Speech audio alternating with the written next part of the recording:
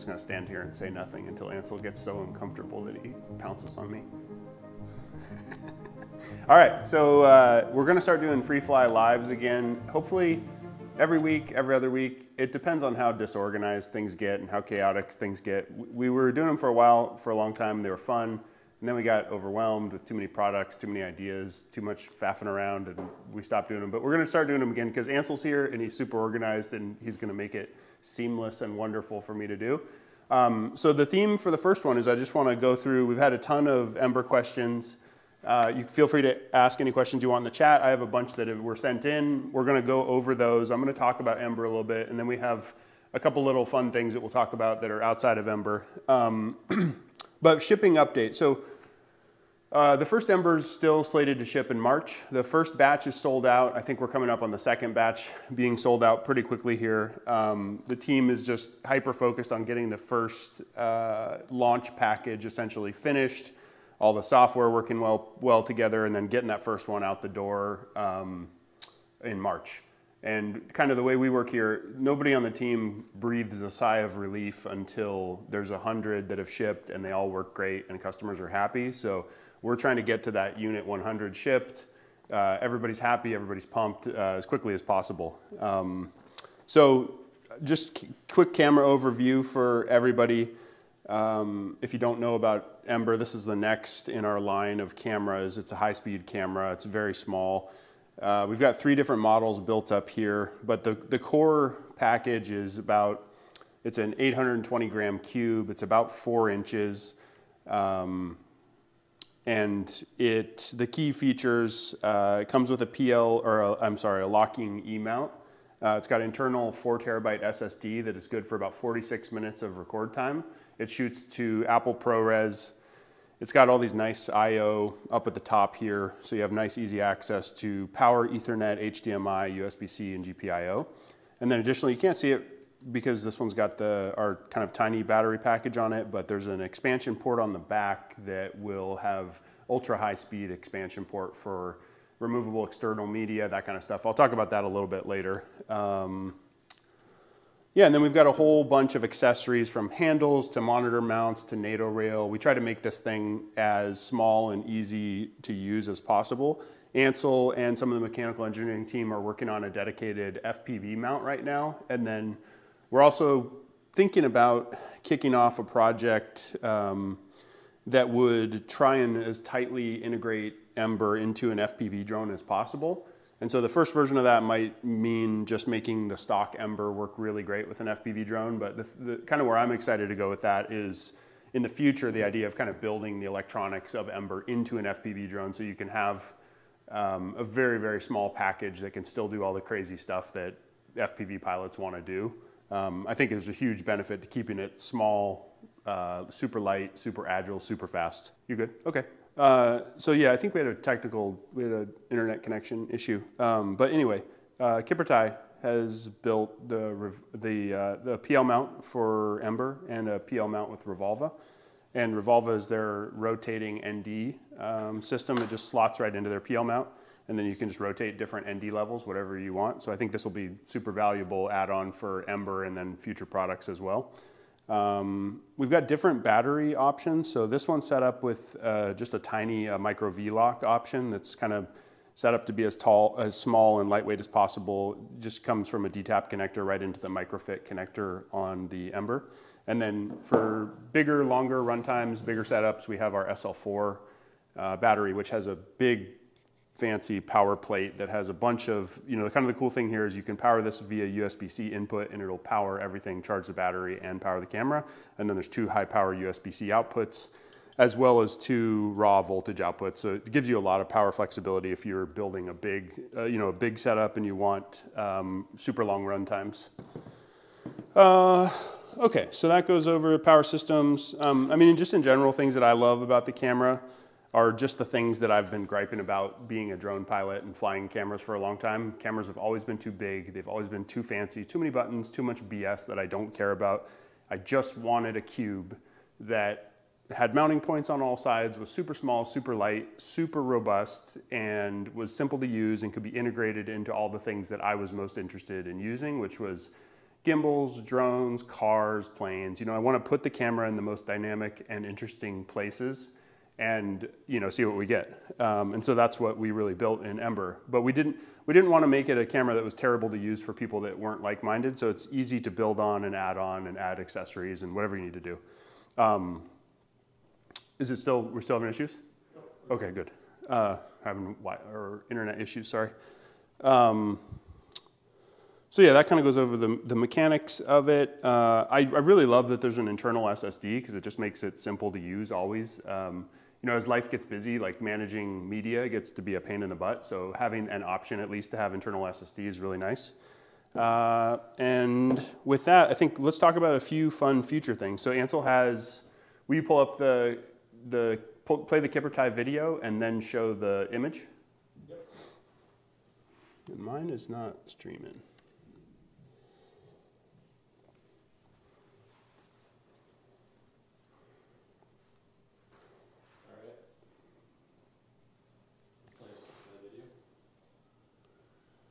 Okay, so yeah, John from Kippertie is just a video he sent me. Um, this just shows one idea for external media for Ember that he had. So it's mounting just an SSD essentially on the side or, or their long take media. We were kicking around this idea, and then I think the, the, the path that we're more likely to take is, do we have one that doesn't have any stuff on the back so I can show the expansion port? No? Uh, I can't show it right now very well. But anyway, there's a high-speed expansion port on the back of the camera, and I think it, it's like 40 times faster than USB.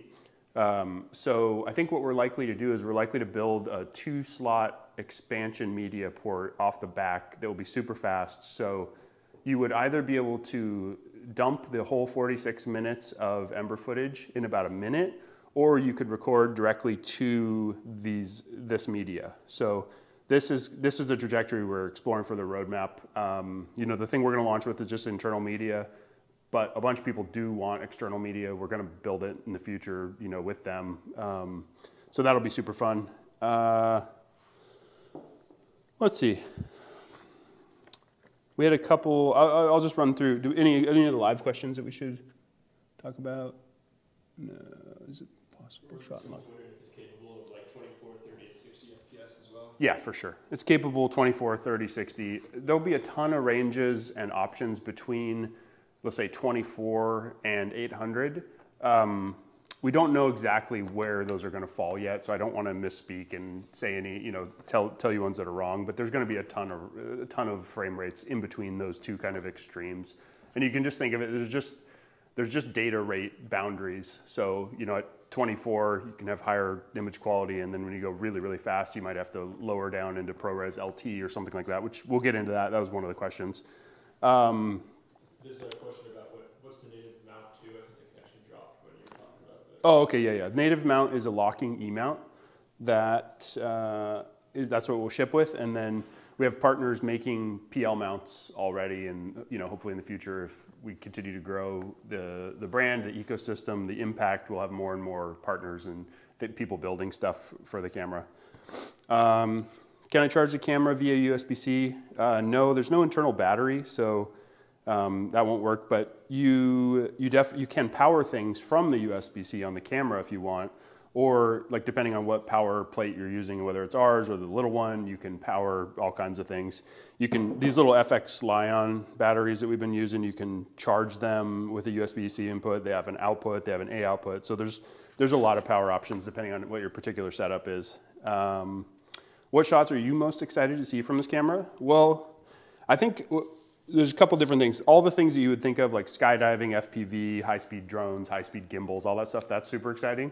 But I think a lot of the most the shots that really like get me are when you give this thing to a talented cinematographer or photographer that just hasn't had the opportunity to work with a high-speed camera before, and you just see what they come up with. It could be something as simple as walking through New York City and shooting for a day. The thing about being able to shoot 800 FPS is it's just a completely different dimension of filmmaking and things that look, you know, that in real time look trivial or uninteresting. Sometimes if you capture them in a, you know, with at 800 FPS in a new way, it just, they look stunning. You know, things as simple as water droplets coming off a leaf or a mountain biker sliding by. I mean, Hugh and Ansel have been testing the crap out of this thing and, you know, that you walk by them when they're shooting and it looks like they're just shooting a very normal shot and then you see the shot at the end and you're like wow that's incredible um, would be we be able to adjust the vertical resolution to increase the frame rate like wave yes definitely you will the difference is wave uh, as you go faster and faster keeps the same field of view uh, this camera will not so it's going to zoom in um, will you offer 1080p at extreme frame rates yeah but i don't know how extreme they'll be yet but they'll be faster for sure What's the weight? 820 grams, we talked about that. Uh, will you make different lens mount options? Yes, uh, so we've got the locking E mount. Um, we've got the locking PL mount already from uh, Kippertie. I am trying desperately to get in touch with somebody that runs the L mount project. I would love to support that. I can't get anybody to get back to me, so if anyone has any juice with the L mount folks, uh, hook me up. Um, is the I.O. panel swappable? Yes, so we designed the camera so this, there's four bolts in this I.O. panel. I.O. just for, for everybody that's like doesn't do this all day long, just stands for input output. Um, this whole thing can come off. It's not a user changeable uh, item, but it can be a factory changed item. Maybe it could be a user, I don't know, we'll see. Depends on how good of a user you are. Um, so we, we built this so you can change this and we can adapt it in the future for different needs. Um, just a nice clean breakpoint so you can have different inputs, outputs in case you know a use case comes up that we didn't provide for. we make SDI I/O panels. Uh, it's certainly possible to swap out this top hat with uh, a new one that has SDI. Um, for us, it just comes down to bandwidth, people, prioritization, um, money, time, effort, that kind of stuff. Uh, what kind of remote control do we have the camera? So you have, I don't know if everybody's downloaded and played with the app, but you can get the app the, um, from our website, play with that, see what it's like. Uh, so you'll have control over the app. You'll have control eventually via uh, Movi Pro uh, if you connect directly into the GPIO. And then I'm sure in the long run, um, we're going to want to inter er, interface for live sports and that kind of thing with the Ethernet uh, port. So wireless, uh, GPIO, and then Ethernet in the long run. You'll be able to control the camera. Why 4-pin Molex and not LEMO for power? Is it a sturdy port? Uh, yeah, so they're talking about the power input cable is a locking Molex connector. Um, we use these because they're super lightweight, they're super robust, they are cheap, they're easy to get, and they're small. And so once you start putting LEMO connectors all over a camera, it drives the form factor to be huge, heavy, and just like frankly not optimized and it bothers me. So we've been using these type of connectors on Movi Pro for years. They're bulletproof. There's thousands of them in the field. You know, they're, they're not a problem. Um,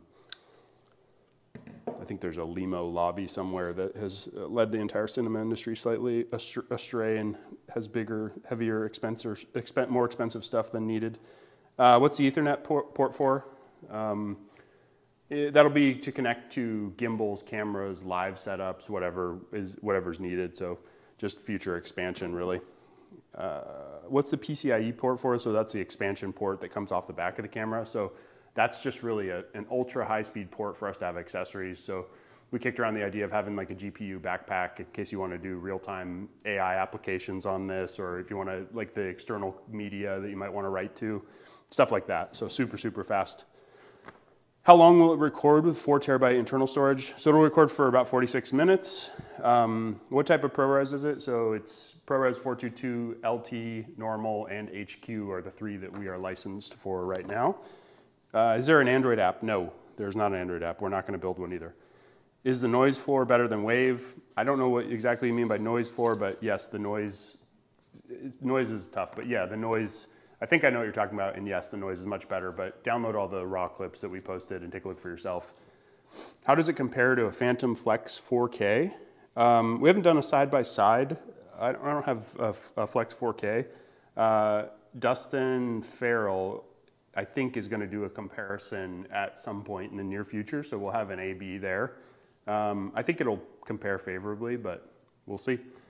Uh, what other purposes besides film do you think this will be useful for? I'm really excited for uh, sports applications for this and then also for engineering and analysis. Um, you know, for example, I'm really into aviation, flying planes and helicopters, and I would love to know, you know, I'd love shots of the tail rotor on my helicopter, you know, is it vibrating? It'd be cool to there's not many shots out there of like the main rotor, uh, tail rotor, are they vibrating, or they in track. Like it's just a really fascinating thing to see.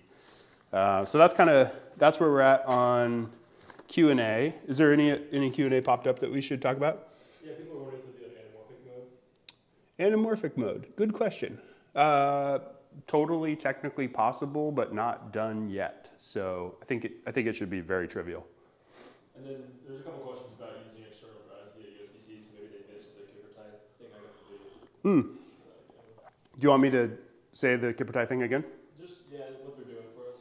Okay, yeah. They're well. So basically, we met them and they're awesome, and they were like, "How can we help?" And we said, "Could you tackle the external media portion of the project?" And they said, "Yeah, that'd be great." Um, and so they've been they've been working on that. And the two ways that we could do it, we can have the USB-C. We can have a USB-C right to a little drive. Uh, that's relatively slow compared to the high-speed expansion port off the back.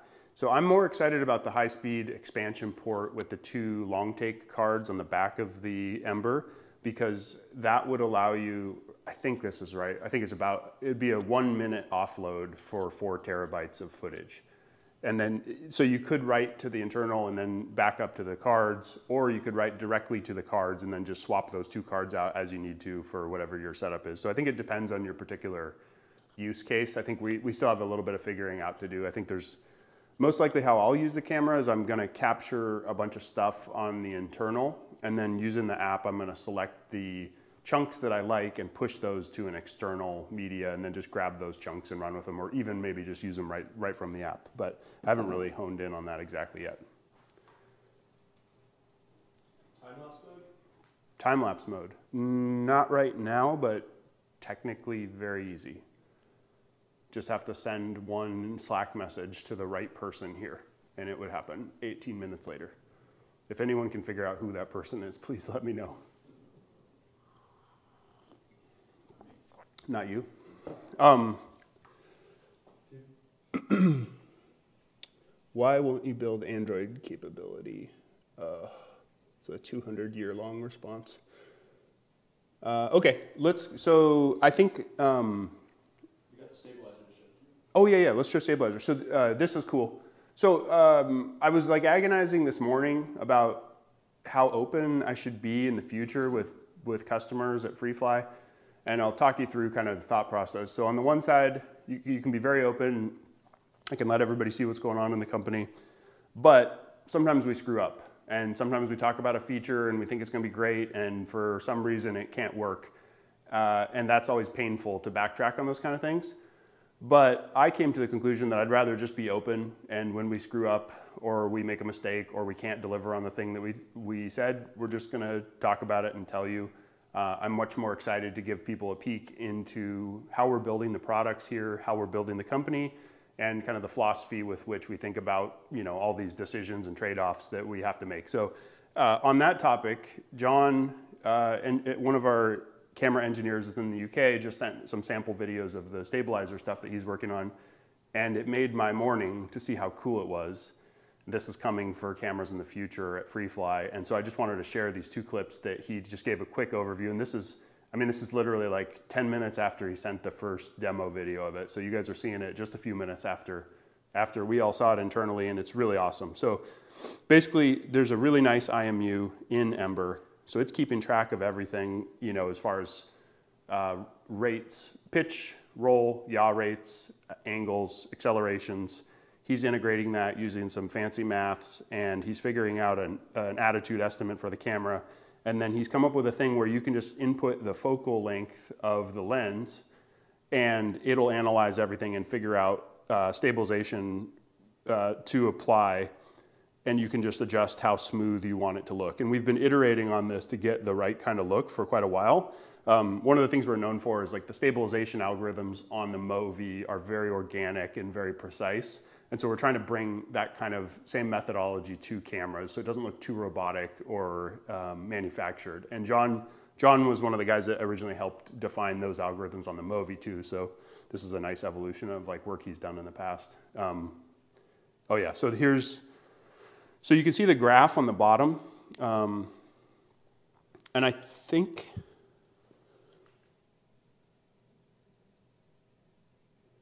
Yeah, I think that's showing how much of the available uh, stabilization framing it's using. So you can think about it basically, we're zooming in, we want to zoom in as little as possible, and then we're going to move that zoomed in frame around to get a totally smooth output. And Ansel did a test flight with an FPV drone here, and then this is running John's stabilization on it um, to see what kind of results we get with it. And it looks, I mean, it just looks stunning. So the end user experience that I want for this is I want to capture a clip, push a button, say how smooth you want it to be, and you're done. No fussing around, and you get just a beautiful shot.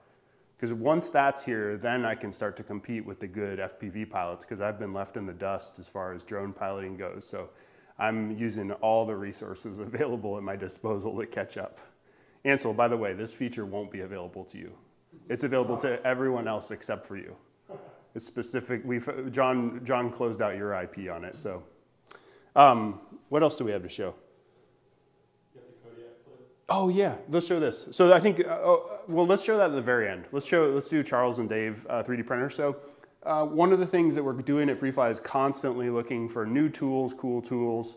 How can we get better at the, you know, so we build these products, but also what we spend a lot of time thinking about is how do we build the machine that builds these products? How do we how do we get better, faster, and more efficient at building products that the world needs?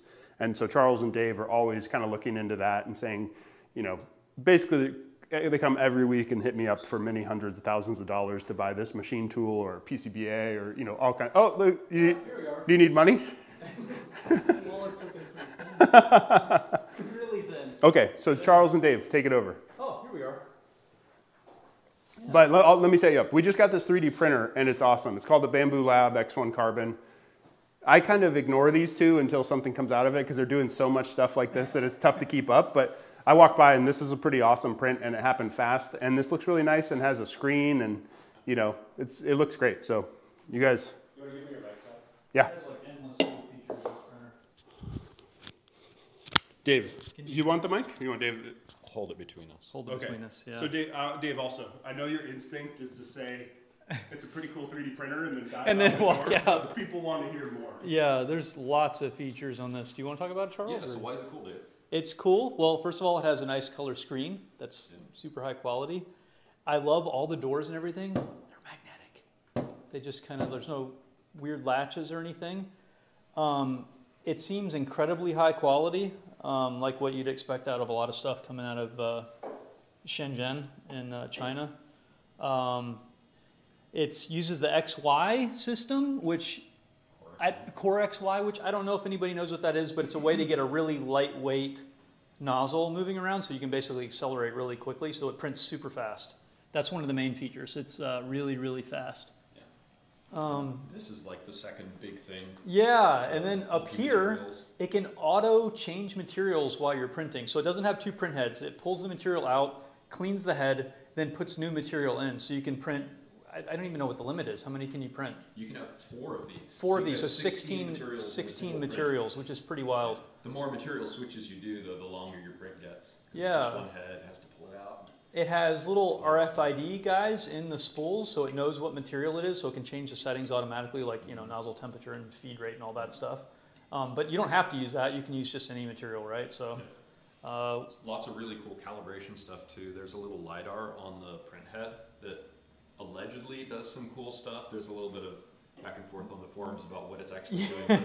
it might be uh, black magic, but yeah, it definitely looks like it's doing something. So it prints a test pattern and then scans the test pattern to characterize how the flow is working with the resin that you've put in there and kind of dial things back. yeah, it also has an auto tune because yeah. when you're moving this fast, you get a bunch of shakes at sharp corners. So it has some auto tuning, so it tries to eliminate that. It has a heated build chamber, which is really important when you're printing uh, with like high temperature materials like nylon because you get a lot of shrinkage and stuff. How hot does it get inside? I don't know. Hot enough to cook steaks? Not hot enough to cook We were talking about heating our sandwiches in there though. Mm. But also well, this why is... Why are you two eating sandwiches? No, I know, we should not Garbage. eat. Bread is terrible. Um, hold on, breaking oh, news. Breaking uh, news. Sato Camera asked if it's possible to have a log and how many, how, what's the dynamic range? So dynamic range is about 12 stops. And there's no technical reason we couldn't have log. We just need to convince some people on the engineering team that they're a tech, that that there will be a technical benefit from the dynamic range and log, but I think we'll get there. We'll, we'll test it at least, and if it is helpful, we will release it. Yeah. Anyway, carry on. Oh, carry on. Uh, also, this is heated and has desiccant in it, so it keeps your material dry, which is really important. Good, Um, consistent results. Yeah, uh, each one of the little feeders for the material has a little motor in it and all kinds of mechanisms, which is kind of interesting. Like they just went all out. There's lights inside the machine so you can see. There's two cameras.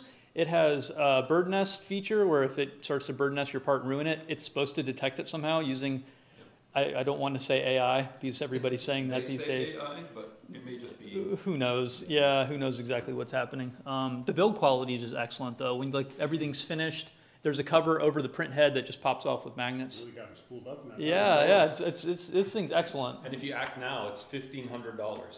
We don't sell it though. yeah, it's true. It's really great. If you buy, you know, yeah. Ten Anyway. years ago, a printer with these features would have been ten x. Well, it didn't exist. cost, It yeah. just didn't exist. This is, this is, I don't want to say names, but this is better than some of the other printers we have. A hundred years ago, this printer would have cost, would have cost twenty trillion dollars. Twenty trace through. Had to develop an entire Charles, economy. he, he would have delivered it to us on a horse-drawn carriage. Absolutely. What I don't know about is the software. How is the software, the slicer and The stuff that it comes slicer, with? I've used Cura and Prusa Slicer, and this is comparable in terms of features and Okay. ease of use. Oh, it has a phone app too, right? So you Yeah, can see the, phone app let me last night watch while that was printing to make sure it had. when you, yeah, when you're, when you're out cooking your steak, you can Yeah. check that your printer's still running properly. Um, it prints, oh, it prints uh, nylon with carbon in it, which is great. The little pad in here is reversible, so you can like pull it out and flip it over for printing. One side is labeled like Usually I can't get them going, now I can't stop him. PLA, PETG, and ABS, and the other side is like the, Yeah, it's is the just lower Oh, temperature. down with Dave, let's do our challenge. Okay, What is so this is for everybody out there. I want to see uh, what kind of first principles thinkers you are. So Dave and I were on a walk the other morning. Yelling at each other. He's telling me all the ways I'm deficient as a human, and I'm yelling at all the ways he's deficient as a human.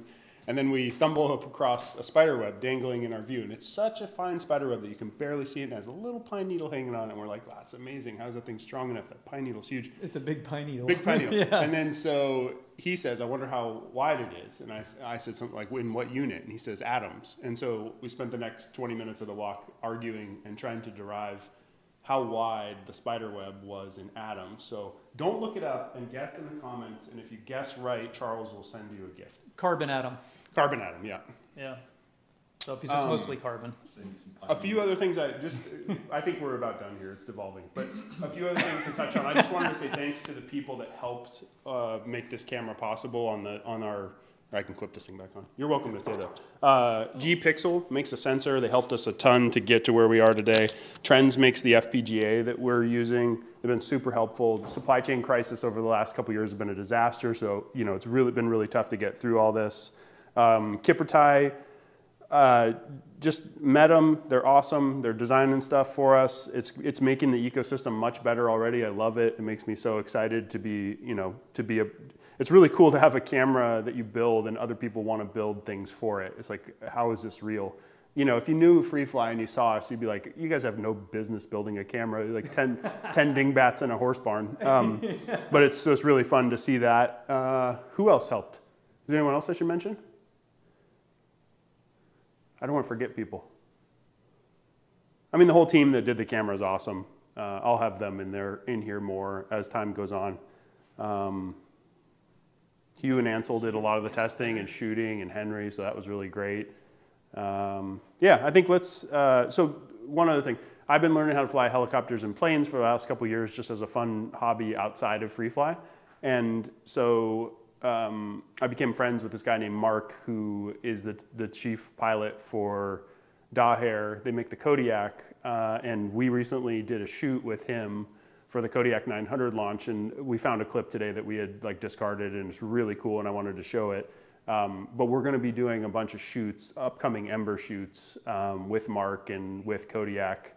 Uh, so I just wanted to, uh, for the last thing we do, I want to show this clip on the way out because it's really stunning. Oh, and this this clip was shot from the GSS gimbal. So big props to those guys. We're going to work to get an Ember in the GSS soon, and I think so our GSS has a Canon 50 to 1000. That's what we shot this on, and I am so excited to be able to shoot 800 FPS with that Canon 50 to 1000. So it's going to be game on. But anyway, this is a plane similar to what I'm trying to learn how to fly well right now. So.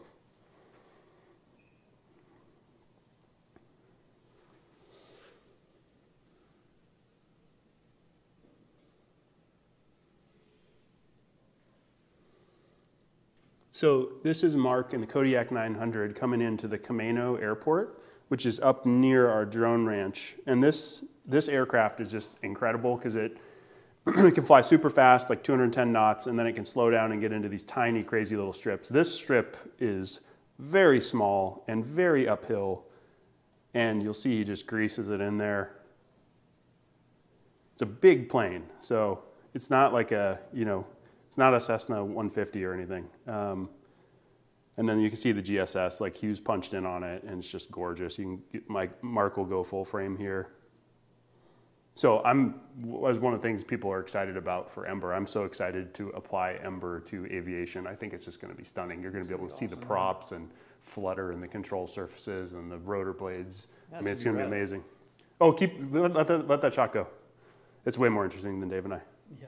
So anyway, he turns around and then takes off from this airport. And this airport, the interesting thing is when you're when you're um, getting ready to take off, you're looking out towards the ocean, and the airport falls away so quickly that you can't even see the end of the airport. All you see is the ocean. So you're basically your experience as a pilot is you you just power up and you're just heading towards the ocean, and it's just uh, just an amazing amazing little airport in the northwest. And this was shot with our X5 with the GSS on the front of it. I think I was driving and Hugh was operating. And when Hugh's operating the GSS, he just has this giant perma grin on his face, which is very fun. It is a very smooth gimbal. Yeah, it's really great. I love it. All right. And then you can see just the climb performance on this plane is nutso. He just goes up elevator.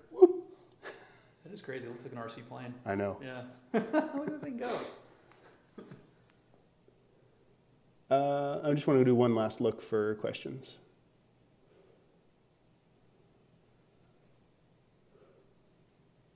Uh, is the Revolva PL mount the same as that for red cameras or a new configuration for Ember? That's a new configuration for Ember.